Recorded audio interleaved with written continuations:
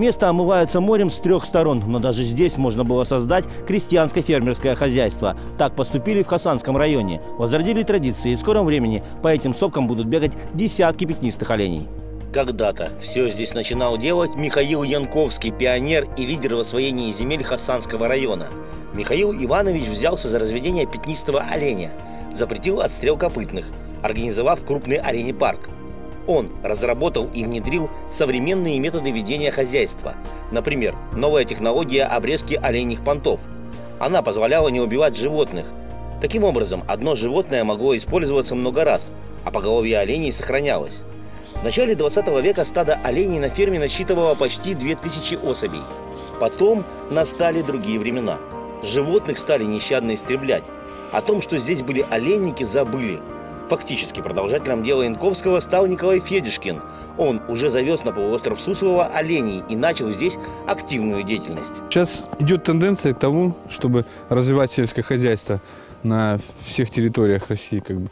У нас просто оказалась такая возможность, появился участок, в аренде на юге Хасанского района. Поэтому решили, что здесь самое актуальное, так как здесь вокруг еще заповедная зона воды, что здесь самое актуальное открыть как раз оленник, чтобы олени жили как в дикой природе. Единственное, закрыт проход им выход на открытые территории. Вот в этом плане-то как бы и есть тенденция к тому, чтобы развивать это все в соответствии еще и с туризмом, чтобы людей привозить, чтобы люди смотрели, типа экофермы такое, ну, в таком направлении. Есть интерес в этом всем. Этот вопрос-то весь как бы в экологическом формате будет контролироваться полностью, чтобы не, не происходило тут засорение территории. Все это будет под контролем работников происходить. Есть своеобразные экологические тропы в таком ракурсе и будем как бы работать и все это развивать. А вы на себе ощутили какую-то помощь государства, когда вы создавали весь этот свой бизнес? Это же не первое ваше направление, которым вы занимаетесь. Вы тут да. и отдыхом организуете, да, и еще есть там масса у вас направлений. Вот. Не ощутили на себе какую-то помощь государства? Ну, ну не то, что помощь как бы. Мы просто стараемся действовать в правовом поле, как говорится, чтобы у нас не возникало, наоборот, не возникало, как говорится, проблем с, с законом и за всем, со всем. А так, в принципе, особо помощь, в особой помощи как бы не нуждаемся. Идет процесс просто развития бизнеса общего нашего, да и все, в разных направлений бизнеса. Вот и стараемся в этом ключе как бы работать. Перспективная территория сегодня Хасанский район. Нужно ли сюда вкладывать деньги? Не проще ли было в другие районы Приморского края вложить? Почему вы вкладываете именно сюда свои деньги, средства? Ну, потому что здесь... Дело в том, что я здесь живу, в Хасанском районе, и всю свою сознательную жизнь прожил. И весь бизнес у меня построен в Хасанском районе, в Зарубинском поселении. Вот сейчас вышли вот с этим, как говорится, проектом в Хасанское поселение. Поэтому, как бы, ну, другой перспективы не видим пока куда-то уходить из района, так как, я говорю, все и дети здесь живут, и я сам живу, и ну, все вокруг Хасанского района происходит. Поэтому у нас здесь живой интерес, и мы здесь занимаемся бизнесом. Крестьянское фермерское хозяйство Хасанское находится на территории Дальневосточного морского биосферного заповедника Девуоран. Появление здесь нового вида деятельности стало серьезным барьером для браконьеров – это раньше инспекторам заповедника нужно было 2 километра в сопку подняться, обратно спуститься, сесть в лодку и отправиться в рейд. Теперь все по-другому. Николай Федюшкин сам заинтересован в том, чтобы все было здесь на законных основаниях. Помощь инспекторам быстроходные катера и людские ресурсы. Сложные погодные условия, сильный ветер, снег и мороз не должны стать причиной для отмены рейда. Как бы ни было сложно, инспекторы в ежедневном режиме выходят на защиту акватории Дальневосточного морского заповедника.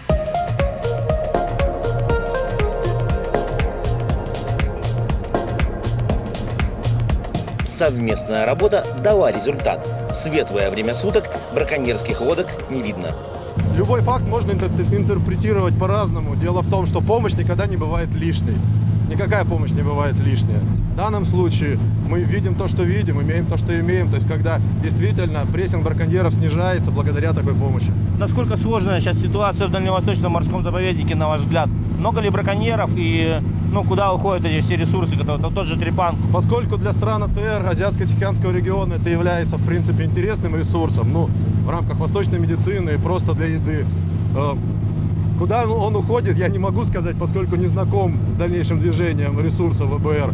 А что касается прессинга браконьеров и тяжелой обстановки на территории заповедника, в заповеднике все достаточно хорошо, все развивается, все эволюционирует. И вот такая, такая организация работы, которая идет, это один из показателей улучшения качества работы сотрудников заповедника и совместной координации действий администрации заповедника, в частности директора заповедника, с обществом когда реально общественники начинают нам помогать активно. Естественно, они не имеют каких-то определенных административных прав, правоприменения. Но для этого инспектор каждый, каждый раз и находится в данном катере.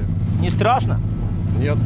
Ну, то есть откуда берутся силы выходить там, ну, не бояться браконьера? Это где научились-то? Закончил биологический факультет, потом стал охотоведом, потом работал в Федеральной службе по надзору в сфере природопользования. Потихоньку научился. Ну, собственно, у каждого из моих коллег такая история, поэтому мы пришли сюда и здесь работаем. Как только началась помощь инспекторам, начались проблемы. В одну из октябрьских ночей два катера Николая Федишкина были обстреляны. Вот, вот, вот следы обстрелов полностью. Потом вот сюда прям попали, стекло выбили. Расследованием занялась полиция, а Николай продолжил бороться с браконьерством. Случайных людей на катере нет, у всех своя роль. За каждым мысом, за каждой скалой может скрываться потенциальный браконьер. Выходят браконьеры ночью, думают, что под покровом темноты останутся незаметны. Но раз за разом попадают в сети, выставленные инспекторами. На кадрах любительской съемки водолаз, который, рискуя жизнью, не хочет выходить из воды. Не поддается ни на какие уговоры инспектора. Протокол, все, скинул ты все, успел. подойдет, скажет протокол. Если он подойдет, он с бортом простреленным идет. Помогать инспекторам Николай Федюшкин решил после того, как начал развивать в этих местах оленье хозяйство. Те, кто работает на кордоне, не только за дикими животными присматривает, но и вовремя сообщает данные о тех, кто оказывается в этих местах незаконно. Подобное нарушителям не нравится. Вот и подверглись катера обстрелу. Во-первых, это не какая-то чрезвычайная ситуация. По нашим госинспекторам стреляют, стреляют регулярно, э, таранят лодки, э, пытаются всячески воздействовать морально, запугивают. Вот. Но мы держимся. Э, стараемся по мере сил противостоять браконьерам, хотя, конечно, они превосходят нас технически, превосходят организационно. Э, по сути дела, это хорошо организованные преступные группировки, причем с выходом на международную организованную преступность. Я об этом говорил много раз, и на всяких, на всех уровнях э, говорил об этом. Ну, к сожалению, как-то не очень двигается э, в, в нужном направлении и снабжение заповедника. Вот. А то, что произошло здесь, э, ситуация понятна, нестандартная. Ситуация э, чрезвычайная, поскольку речь идет о угрозе жизни людей. Вот. Но э, ситуация эта, с одной стороны, возможно, и привлечет внимание к нашим проблемам. Поскольку, знаете, как в России, пока жареный петух не клюнет в одно место, там никто и не работает по данному вопросу. Или, как говорится, как, пока гром не грянет, мужик не перекрестится. Поэтому внимание к таким ситуациям э, для заповедника, э, я не считаю, что это плохо. Это, возможно, это будет и лучше. Чем больше люди знают про наши проблемы, тем э, меньше будет каких-то секретов, подозрений, меньше будет нехороших слов в заповедник. А мы, поверьте, стараемся честно выполнять свою прямую функцию по охране территории. Мы находимся сейчас в бухте Калевала, на берегу бухты Калевала, где буквально в этом году было организовано оленеводческое хозяйство. Это крестьянско-фермерское хозяйство э, Федюшкин Николай Михайлович. Вот. Я считаю, это просто замечательное событие, потому что э, все, кто читал книжки Янковского, знают, что раньше Приморье это было огромное количество оленеводческих колхозов, которые сейчас пришли в упадок, практически ничего не осталось. И я вижу в этом вот зарождение этого э, нового развития, да любой хозяйственной деятельности. Понимаете, это, во-первых, само по себе красиво. Представляете, когда-то на этом полуострове Суслова будет ходить стадо красивых, прекрасных, пятнистых оленей, которые и туристов будут привлекать. И само по себе э, это и развитие сельского хозяйства в Хасанском районе. Это рабочие места для жителей Хасанского района, которых так им не хватает. И э, это подспорье нам в охране заповедника, поскольку наши партнеры нынешние, оленеводы назовем их так, они нам оказывают неоценимую услугу. Они всегда на нашей стороне помогают нам охранять заповедник, предоставляя свои плавсредства, предоставляя здесь э, в своем э, пункте охраны место для госинспектора, э, который может в нужную минуту сообщить на пост и выйдет наша лодка. У нас прекрасные пока сложились отношения, мы друг другу помогаем и вместе делаем нужное и важное дело. Но разрулить вот эту ситуацию, как вы думаете, получится в ближайшее время, чтобы все-таки люди на этой территории нормально занимались развитием хозяйства? Я не вижу никаких препятствий для этого. Вся эта деятельность происходит э, в рамках закона. Э, и это нужно только поддерживать и всячески помогать. Воздействовать на Федюшкина пытались и так называемым административным ресурсом. Отправляли письма чуть ли не Владимиру Путину. Причем кого только подписи в этом самом письме не стояли. Казалось, что все инспекторы ополчились на Николая Федюшкина.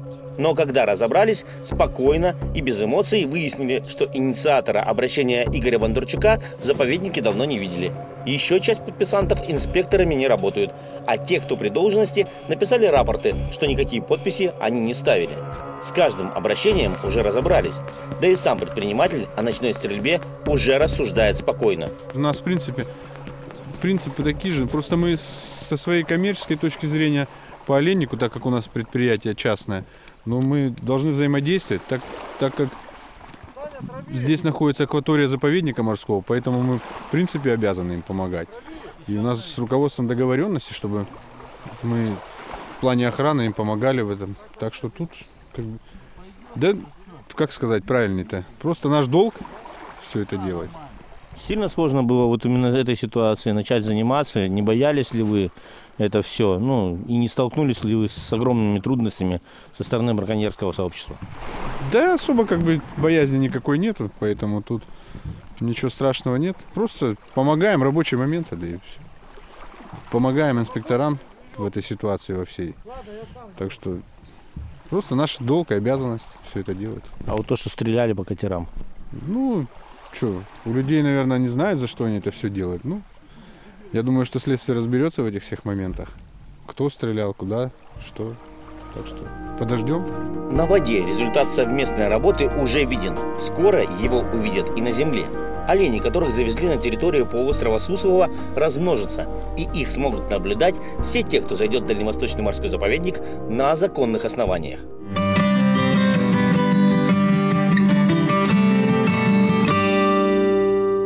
Еще одна территория, где активно рейдуют – Лазовский район. Одна оперативная бригада станет под одним полем, будет там дежурить. Вторая оперативная бригада с вашим участием станет под второе поле.